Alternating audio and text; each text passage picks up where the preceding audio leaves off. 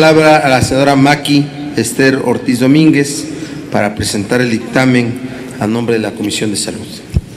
Con su venia, señor presidente.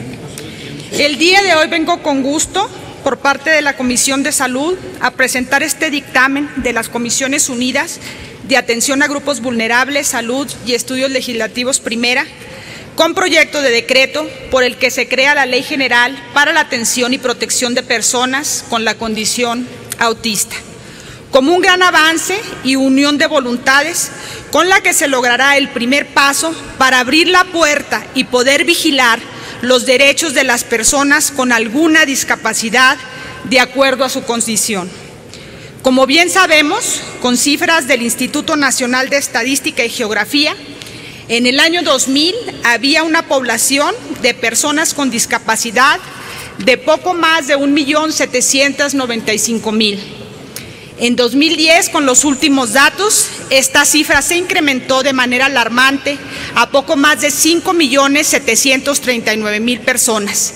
De ellas, 57.5% tienen problemas para caminar, 32.5% para ver, 16.5% para oír, 8.6% para hablar o comunicarse, el 8.1% son discapacidades de carácter mental, 7.9% son dificultades de cuidados personal.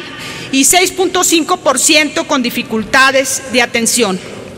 Dentro del porcentaje de las discapacidades de carácter mental que corresponde al 8.1% del total de personas con discapacidad, se encuentra entre una de ellas el autismo, que se vincula con un desajuste orgánico en el cual intervienen distintos factores que tienen como resultado un defecto de la funcionalidad del sistema nervioso central.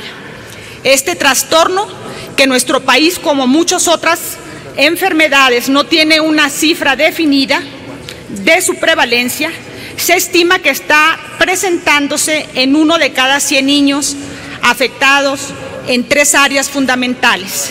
Las relaciones interpersonales, los problemas de la comunicación y el lenguaje y la rigidez mental y de comportamiento.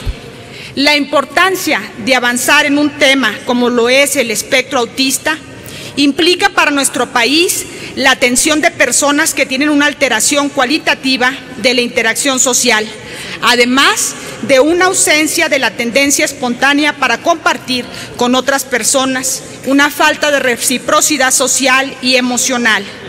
Por ello, la atención de su conducta desde edades tempranas es primordial para su debida atención y seguimiento. Con esta ley se promueven acciones importantes como garantizar las consultas y terapias especializadas para todas las personas con espectro autista. Asimismo, se promueve la capacitación de personal médico para su debida atención y se crea una comisión intersecretarial.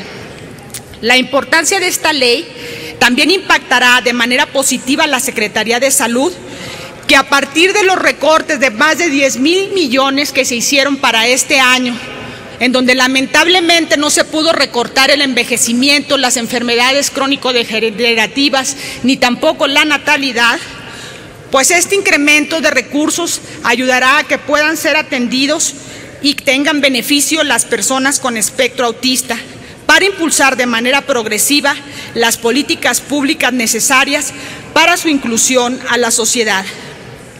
Finalmente, congratulo a las comisiones por la aprobación de esta ley e invito a los senadoras y senadores de este Pleno a votar a favor de la misma, con la cual reitero y enfatizo que el avance que hoy damos con las personas con espectro autista será la entrada para legislar en materia de otras discapacidades y así lograr el beneficio e inclusión de este grupo poblacional.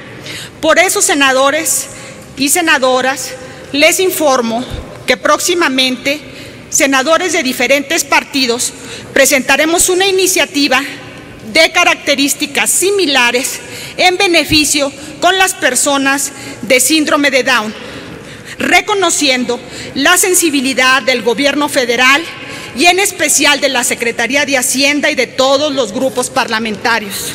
Con esta ley abrimos una era de oportunidad para crear diversas leyes generales que sin duda serán la pauta para lograr más recursos, más inclusión, mejor atención de todas las discapacidades. Muchísimas gracias. Gracias, senadora.